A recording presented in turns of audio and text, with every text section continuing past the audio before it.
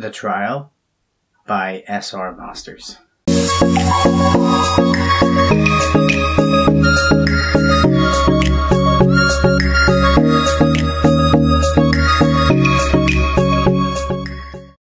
Twelve volunteers, a drug with unknown side effects, would you survive? This is a book about a young woman called Ellie who lives with her mum.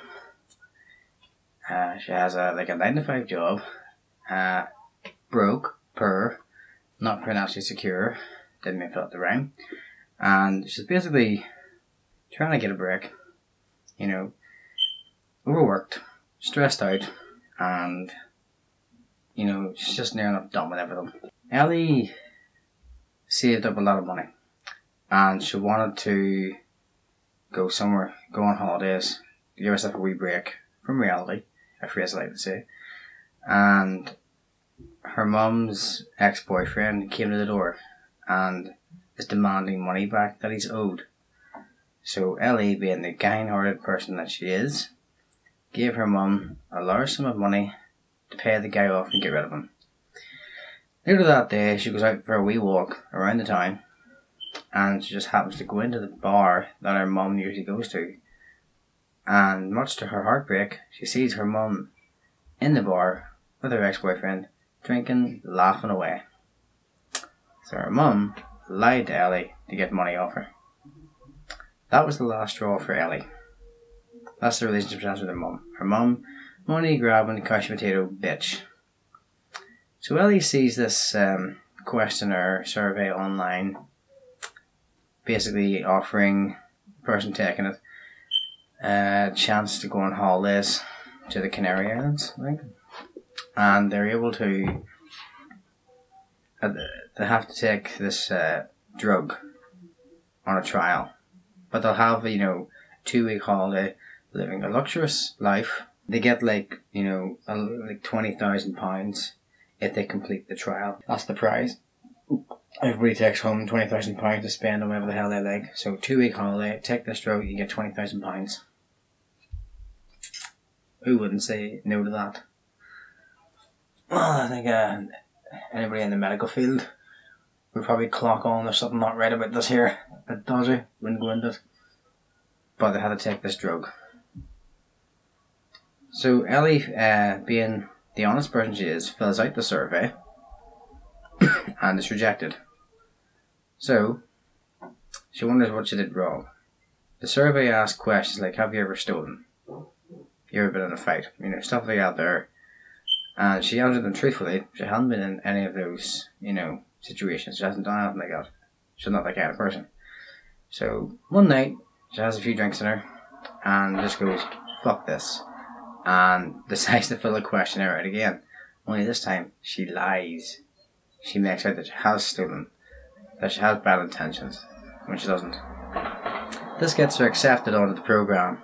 Ellie and the group, the group of other people that were accepted, are flown to another country, and none of them know each other. They're all strangers, and they basically they arrive at the place. They're given the tour introduction what they're all about, and they have to take this pill at certain times of the day and they have to write down feedback, any side effects they get. They don't say what's really in it or what it does to you. They're just documenting what the effects of this drug has on the participants.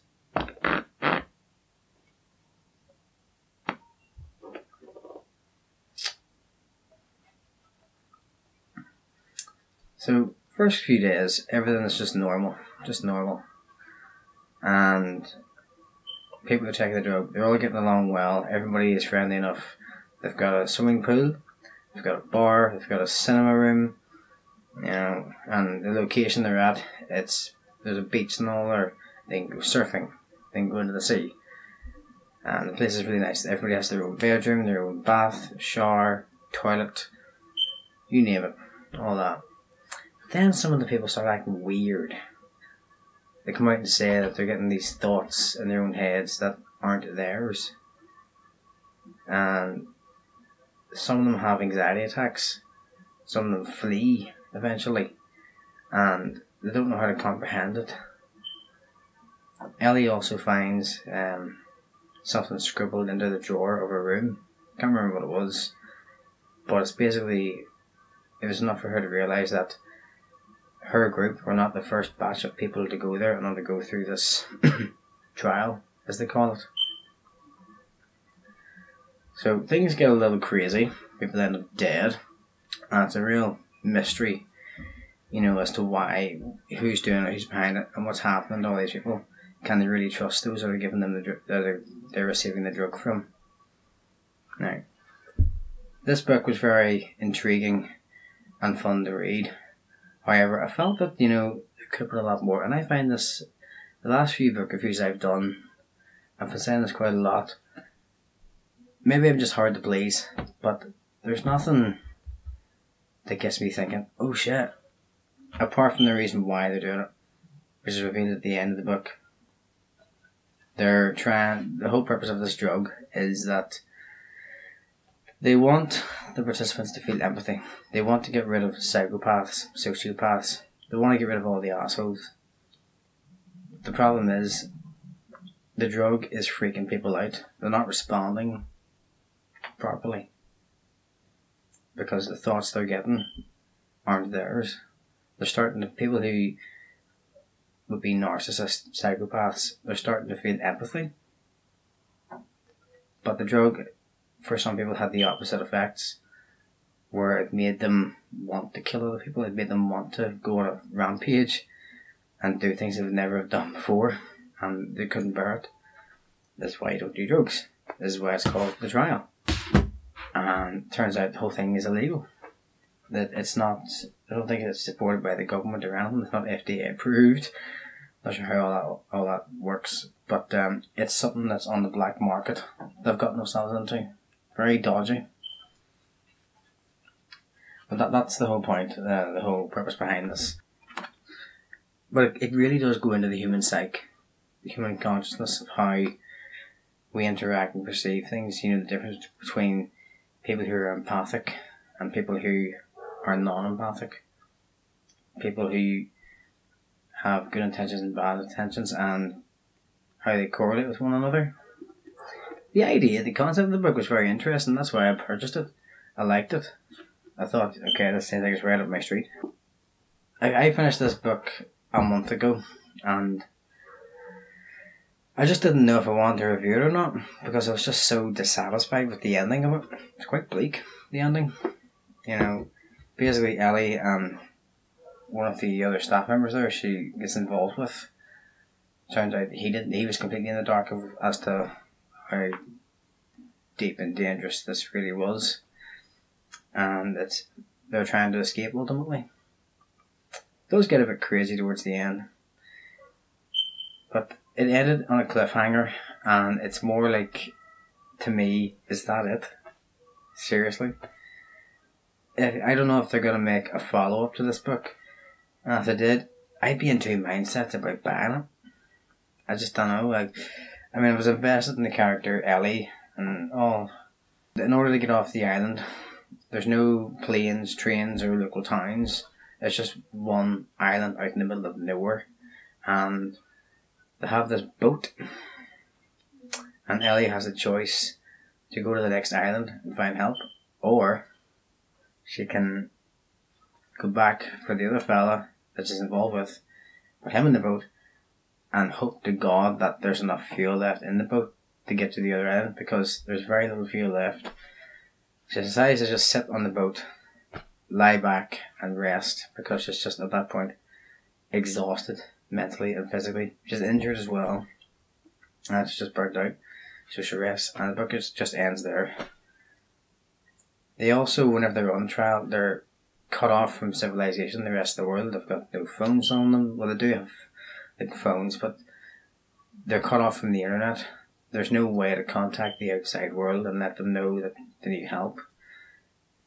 And it's literally the odds of anybody finding them and for them being rescued very, very slim. You can tell, I'm sure you can tell by the way I'm talking about this book, I wasn't all that impressed. But like, it, it wasn't bad. I did enjoy it. It was a fun read. I just expected more, but then with any book, I always expect more. It's, that's not to say that the next person who reads this book won't love it. They'll probably enjoy it more than I will, and fair play. It's the kind of book, you know, you don't really read before you go to bed, or if you're on like a train or a bus, commuter even. You know, it's a kind of book that's just to pass the time. That's how I would this book. I would give this book mm, maybe two or three stars out of five. Yeah, it could have been a whole lot better. It, it really just felt like the author wrote the first draft, the first draft, made a few uh, corrections, and then decided to publish it. Well, it could have been the 20th draft, but that's what it felt like. It, it really felt like a first draft. Yeah. Don't intend to read this author's other books they may have released. Yeah, I think it's overhyped. It says brilliant, a proper page turner. It was a page turner, yeah, but not an amazing. Like, oh my god, what's next? What's next? I was going, hmm, yeah. I wasn't going to get here. Fuck. I wasn't doing that. You know, I wasn't.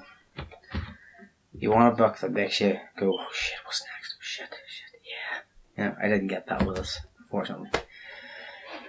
Ah, I'm just choosing books that are not up to my liking. Mm, I need a book, a book. I need a book that stimulates my brain and makes me go, holy shit. A book that makes me think outside the box. But I do, I really like the cover design. all these white chairs and the red chair, the trial, the title and all. And it's, yeah, that, you shouldn't, you shouldn't judge a book by its cover, yes. Well, I've definitely learned that mistake again.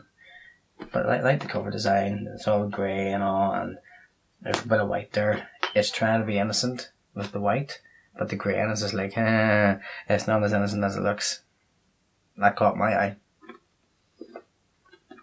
There's like uh, about 366 pages.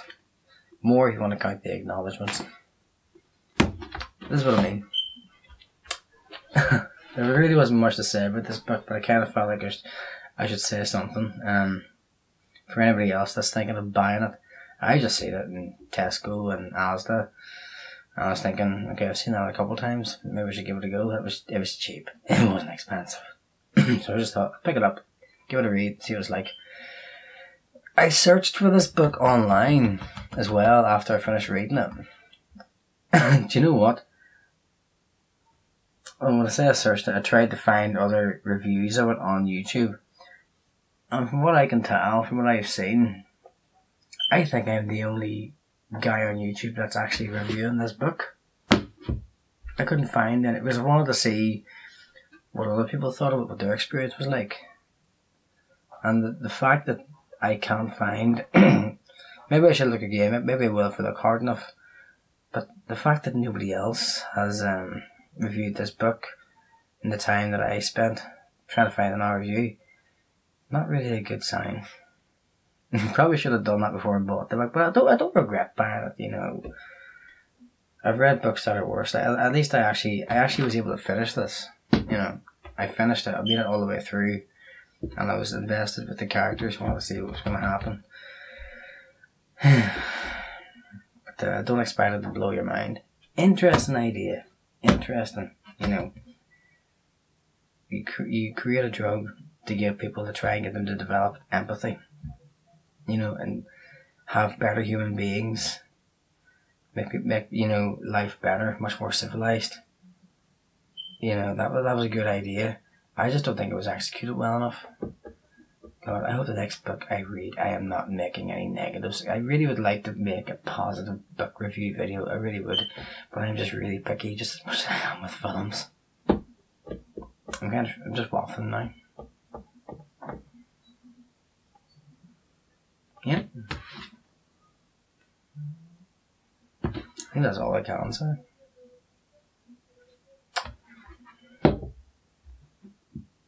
拜拜。